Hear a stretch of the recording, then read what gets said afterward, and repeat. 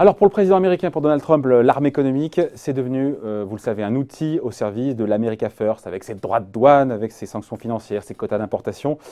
Euh, voilà, et donc euh, personne n'est à l'abri, on l'a bien compris. Bonjour Béatrice. Bonjour. Béatrice Mathieu, donc rédactrice en chef adjointe à, l'Express. C'est le dossier, the dossier cette semaine en couverture, mhm. les guerres de Trump. Les Pourquoi au pluriel? Vous, me direz, il y, a il y, a beaucoup de fronts. Hein. Parce qu'il n'a plus d'alliés, donc il y a beaucoup de fronts et il attaque tous azimuts. Euh, Trump, euh, c'est on, a, on, a, été surpris euh, finalement quand il est arrivé à, la Maison Blanche et on s'est dit voilà le multilatéralisme, les traités de libre échange, tout ça, il a fait voler tout ça en éclats en quelques mois et le monde a eu l'impression de découvrir la, doctrine Trump. Alors qu'en fait, et parce que j'ai lu déjà l'enquête qui est géniale, je ne le savais pas. C'est pas une lubie passagère chez lui, euh, le, déficit commercial américain qui explose, les tarifs douaniers. Mm. En fait, je vous laisse continuer. Quand on remonte il y a 30 tout ans. Tout était écrit, tout était écrit. On est le 2 septembre 1987. Et là, euh, Trump se paye euh, une pleine page dans le Washington Post, le Boston Globe. ça a lui coûter bonbon. Hein. Ça lui a coûté un peu plus de 94 000 dollars. Et c'est de l'époque.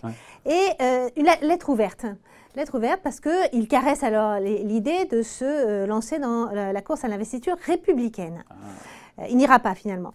Euh, mais il a envie de parler aux Américains et de dire voilà, sa, pensée. Et là, il faut vraiment relire cette lettre ouverte parce que c'est tout, tout, ce qui se passe aujourd'hui était déjà écrit euh, très, de façon très limpide il y a 30 ans. C'est-à-dire, il dit, bon, alors moi, euh, les alliés, euh, payer pour la sécurité de nos alliés alors que finalement, ils ont complètement aujourd'hui les moyens de, de, se payer leur sécurité, on en a marre. Exemple, ce qu'il a dit sur l'OTAN aujourd'hui, en disant il faut que l'Europe mette davantage dans le pot commun de l'OTAN. Et puis il dit finalement les déficits commerciaux c'est terrible, il faut taxer ces, pays riches qui nous désindustrialisent, il faut sauver nos fermiers, il faut sauver nos, sans-abri. Et, donc il cible à l'époque le Japon. Oui, parce que l'ennemi de l'époque, le rival commercial, bah, c'est le, Japon. le Japon qui, dans les, qui, dans les années 80 aussi, rachète euh, euh, les studios hollywoodiens, euh, les voitures japonaises. Et donc, effectivement, il y a un très, très fort déficit commercial à l'époque avec le Japon. Mais donc, tout ce qu'il dit aujourd'hui sur la Chine, puisqu'aujourd'hui, la Chine, c'est c'est son obsession, une de ses grandes obsessions, bah, tout était déjà écrit. Euh, et donc, il a vraiment, alors qu'on dit euh, finalement, euh, il, tweet n'importe comment, il est imprévisible, ça, effectivement, sur la forme, mais sur le fond, il n'a pas varié d'un iota. il pensait déjà à ça il y a 30 ans. Il pensait exactement à ça. Et son obsession du déficit, pour lui, pour lui euh, le déficit commercial américain, c'est l'alpha et l'oméga de sa politique économique. Déficit budgétaire, il s'en fout complètement, mm-hmm. on le voit. Déficit commercial, pour lui, c'est un signe d'affaiblissement, de déclin de la puissance américaine. Et il veut absolument, absolument euh, bah, combler ce déficit commercial, ce qu'il n'a pas réussi du tout à faire depuis deux ans.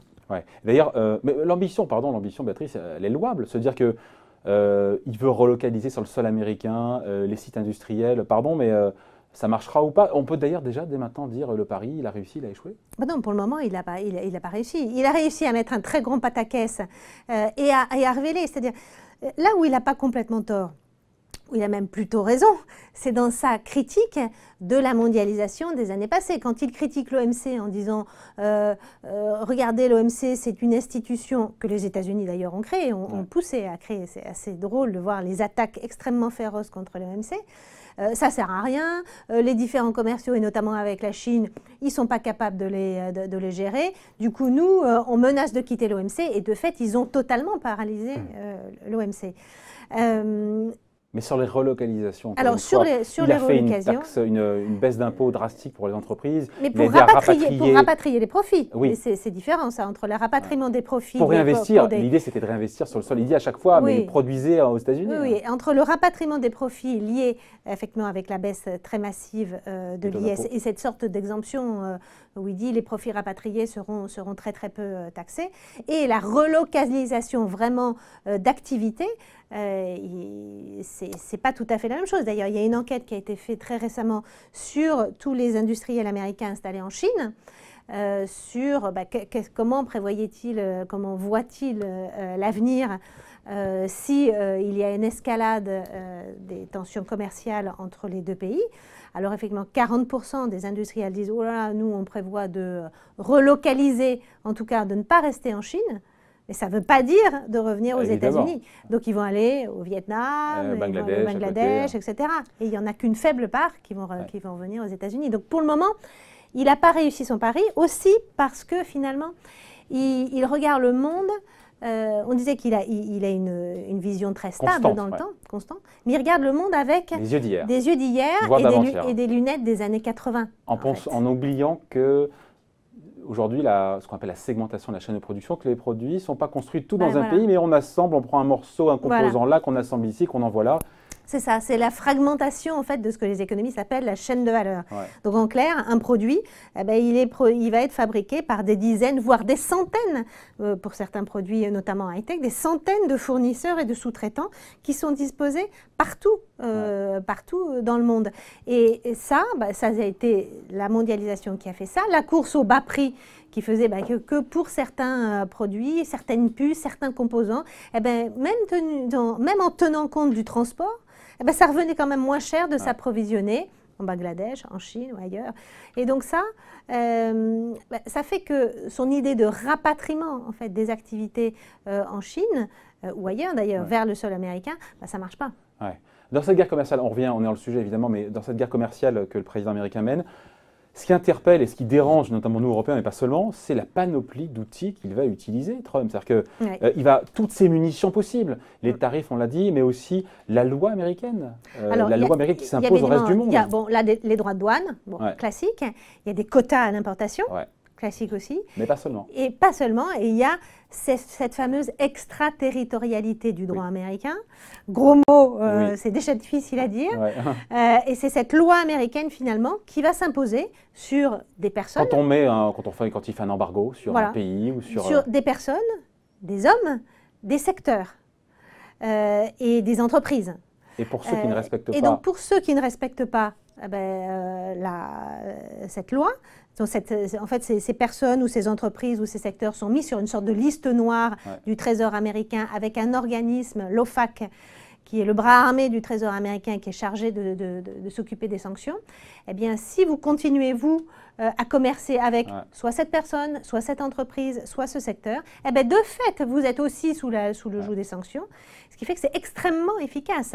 Euh, et là, on le voit, on le, décrit dans notre dossier, à la fois euh, c'est l'Iran, c'est le pétrole vénézuélien, mais ça peut être aussi des personnes, et là, on, décrit un exemple qui s'est passé dans, dans l'année, c'est comment finalement Washington a réussi à mettre la main sur le numéro un mondial de l'aluminium, qui était le groupe russe Russal.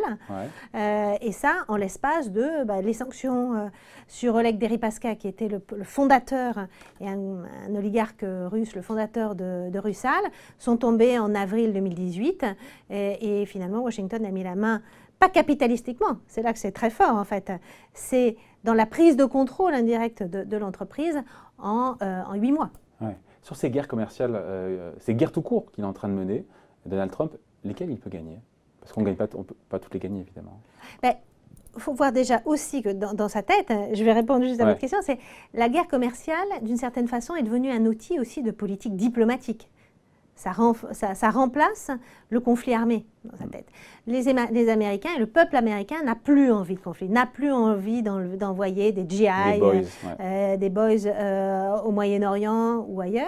Et il utilise en fait cette, euh, cette panoplie, cette de, munitions économiques à des fins aussi géopolitiques, géostratégiques et de de, puissance en fait euh, américaine dans, les zones où il, veut euh, la conserver.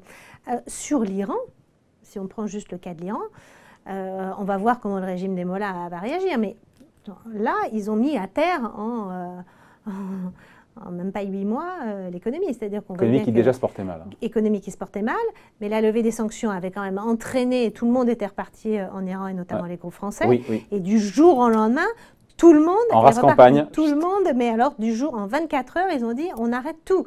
Euh, parce qu'effectivement, un total, euh, même s'il y avait énormément de, de, projets très très intéressants à faire dans le pays. Le projet South Voilà, très intéressant. Et s'est dit, ah non, mais moi, si je continue, ça veut dire que je n'aurai plus de licence pour opérer aux États-Unis.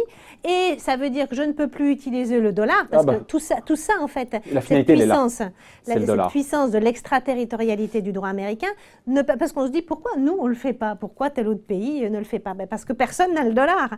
Et que le dollar est encore aujourd'hui euh, ben, la monnaie euh, d'échange et de réserve et de, qui est, commerce international. Et de commerce international, bien plus que l'euro. Et on a bien vu sur le cas iranien la tentative un peu désespérée de l'Union européenne de mettre en place un système de, de troc, etc., qui ne marche pas. Donc on est complètement démunis face euh, à cette, euh, cette panoplie d'armes. Euh, ils sont assez efficaces. Quand on regarde, ils ont fait quand même plier des pays. Sur la Corée, par exemple, euh, Trump avait trouvé qu'il y avait trop d'importations euh, d'acier coréen. Ils ont dit, bon, allez, on taxe. La Corée a dit, ah, Corée, du Sud, euh, Corée du Sud. Et ils ont mis en place des quotas d'importation. La Corée a obtempéré. Le Japon a obtempéré. Le Mexique, tétanisé il y a début juin sur la question migratoire. On voit bien que le Mexique, très rapidement, a dit, bon, bon, d'accord, on va envoyer des... Et le prochain sur la liste, c'est nous. Manifestement. Alors voilà. Ça semble cousu de fil blanc que les bagnoles, les bagnoles, on va se prendre quelque chose. Hein. Donc on, va se, on va se prendre sans doute parce qu'il a alors dans ses obsessions, il a évidemment la Chine. Ouais, et il a les voitures allemandes à Manhattan. il a les voitures allemandes, ça et ça il supporte. Il dit j'en vois trop à Manhattan. J'en vois trop. Et de toute façon, c'est pas juste parce que euh, les voitures européennes, quand elles rentrent aux États-Unis, elles sont taxées à 2,5%. Mais il a raison là-dessus. Et les voitures, et les voitures euh, américaines, quand elles arrivent, à 10. elles sont taxées à 10. À 2,5 d'un côté, 10 de l'autre, c'est pas équitable, il a raison. Pas équitable. Sauf que, sauf que, sauf, que. Sauf que, ce, qui, ce qui est vraiment euh, vendu aux États-Unis, c'est les gros 4x4, les, SUV. Les, SUV. Et là, ils ne sont pas taxés, ah, ils sont pas taxés à 2,5, ils sont taxés à 25%. Ah ah, donc. Donc il n'a pas complètement tort. Pas complètement raison non plus. Et pas complètement raison non plus. Euh, on se dit quoi? Parce qu'on finit là-dessus, parce qu'on manque de temps. Euh, il ne réalise pas aussi, Donald Trump, qu'il affaiblit aussi dans cette guerre commerciale qui mène à la Chine pour euh, réduire ce déficit commercial, qui ne se réduit pas d'ailleurs en ce moment, bien au contraire, il est en train d'exploser. Tout à fait. C'est-à-dire, ce serait marrant de, l'expliquer un jour. Mm. Mais il ne réalise pas à quel point le président américain, il affaiblit les géants de la tech aussi. Et d'ailleurs, d'où peut-être le recul sur Huawei, où finalement, euh, une partie des sanctions a été levée. Oui, oui, il affaiblit les géants de la tech parce que ce, ce. Ce qu'on a dit euh, tout à l'heure, c'est-à-dire que des géants de la tech, en fait, euh, sont dans le processus. Sont dans le processus de cette économie, cette économie mondialisée, éclatée. Et donc, de fait, ça les affaiblit. Ça, ça, affaiblit aussi une grande partie de son électorat, des petits blancs, des fermiers de, du centre des États-Unis, puisque les exportateurs, les exportateurs de soja ont vu les exportations vers la Chine fondre à vue d'œil. Et euh, là aussi, Trump, qui est très pragmatique, a dit bon, bon, on va leur donner, euh, là, il vient de refaire encore une rallonge de 15 milliards pour le secteur, parce qu'il sait que euh, ça les affaiblit. Voilà donc enquête à retrouver cette semaine donc en couverture de, de l'Express, les guerres de Trump. Merci beaucoup Béatrice. Merci.